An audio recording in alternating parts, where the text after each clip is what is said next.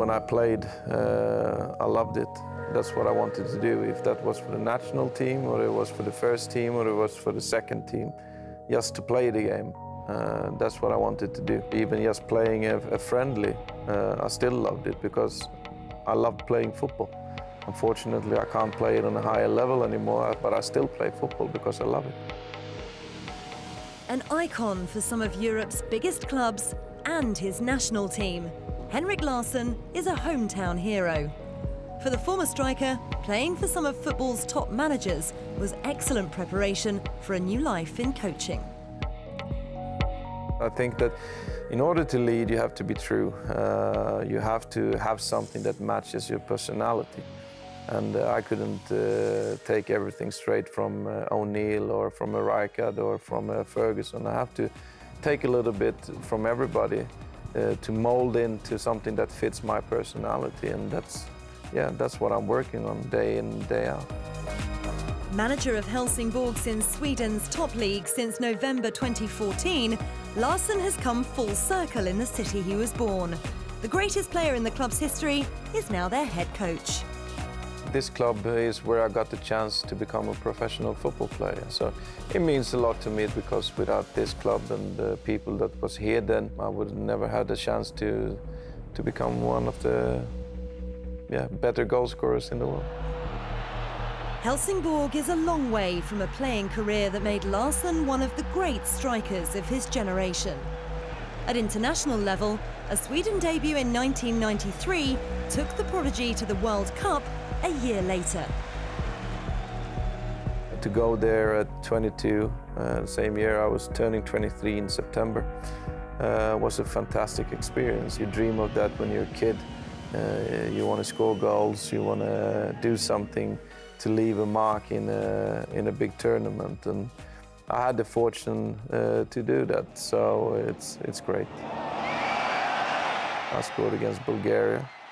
Uh, to do that in, in, in a World Cup is, is quite nice, and it's a goal that is remembered.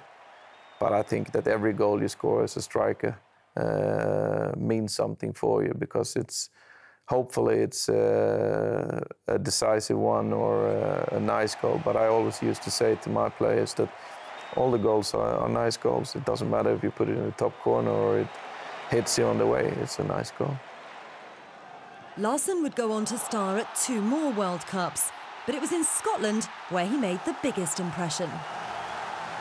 I think that everybody that knows of me, I think started notice me during those seven years I was at uh, Celtic, uh, because that's where I turned out uh, to become the player that I was. So I think that, yeah, that was probably footballing wise when I was at peak at uh, peak of my powers, so to speak. It was with the Bhoys that Larsson won the European Golden Shoe in 2001. At the time, I wasn't that proud. I was just more happy. Uh, now, when I finish playing and looking back what I achieved, uh, I can uh, smile a little bit more and be a little bit more proud uh, because it's no other Swedish player has done that. A season earlier, things felt quite different. A leg injury in Celtic's UEFA Cup tie in Lyon led to fears for Larsson's future. I don't think it changed my game, uh, but it make, made me understand even more what football means to me, how bad I wanted it when I played and how bad I needed it uh, and how badly I missed it. But it's something that is, is part of football. I mean, you, you're going to get your injuries and it's how you do the rehab, how you react to everything and how you bounce back. Um, that is the important thing. Known for his goal scoring, today Larsson's enjoying the game from a different perspective in the dugout.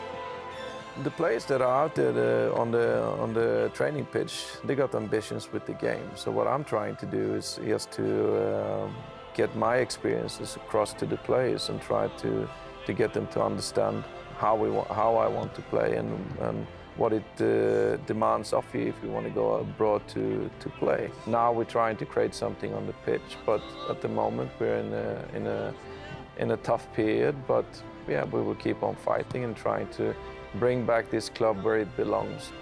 My legacy for Helsingborg has to be to get this, this boat turned around again and start sailing in the direction we want it to sail. And back where it all started, the Swedes guiding another generation of Larssons too. His son Jordan carrying on the family tradition. When I'm here at work, he's not my son, he's my player. And we made that clear from the beginning. But he's done all right. I mean, he's just turned 19. He's very clever, He's got a good head on his shoulders. Um, so hopefully he can go on and uh, take the next step and let the name Larsson shine again.